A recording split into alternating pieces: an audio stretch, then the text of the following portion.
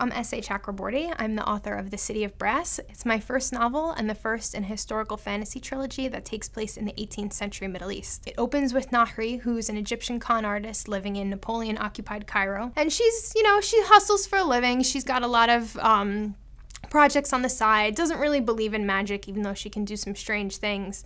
And as people do when they hustle without thinking, she calls up a spirit. So she's taken on this journey um, to this world she doesn't believe in, to Daevabad, uh, the, the magical city of brass where all these creatures live. And she's pulled into sort of this world of the jinn and all these spirits that she doesn't know about. She, of course, finds things are a lot more complicated than she'd like, um, and she gets pulled into some of the politics of the world. But being Nahri, she does what she needs to to survive. I hope you enjoy the book.